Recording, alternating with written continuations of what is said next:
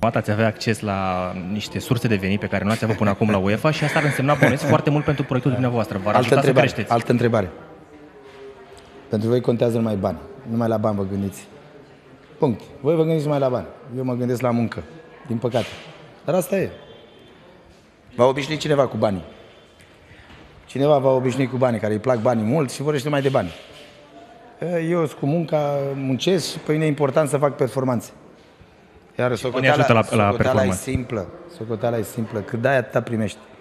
Atunci, dar la voi totdeauna asta va obișnui cineva cu, cu numai cu bani. Câți bani? Îmi vine să râd. Asta e.